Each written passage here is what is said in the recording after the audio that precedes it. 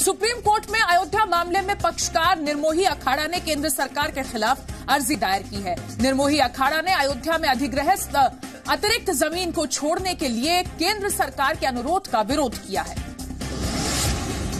अयोध्या ज़मीन विवाद पर केंद्र सरकार के खिलाफ सुप्रीम कोर्ट में निर्मोही अखाड़े की याचिका। सुप्रीम कोर्ट में याचिका दायर कर गैर विवादित ज़मीन सौंपने का विरोध किया। आज निर्मोही अखाड़े ने अधिकृत ज़मीन को वापस लौटाने के केंद्र के फैसले को चुनौती दी। निर्मोही अखाड़े ने कहा कि सुप्रीम कोर्ट पहले मुख्य भूमि विवाद पर सुनवाई करे। निर्मोही अखाड़े का तर्क अधिग्रहण से अखाड़े के संचालन वाले मंदिर नष्ट होंगे।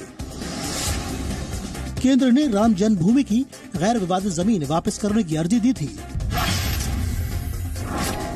अयोध्या मामले में पक्षकार निर्मोही अखाड़े ने केंद्र सरकार के खिलाफ सुप्रीम कोर्ट में अर्जी दायर की है। निर्मोही अखाड़े ने अयोध्या में अधिकृत अतिरिक्त ज़मीन को छोड़ने के लिए केंद्र सरकार के अनुरोध का विरोध किया है। निर्मोही अखाड़े ने कोर्ट से पहले मुख्य ज़मीन के निपटारे की मांग की है। इससे पहले केंद्र सरकार ने कोर्ट में राम जन्मभूमि की गैर विवादित ज़मीन वापस करने की अर्जी दी थी।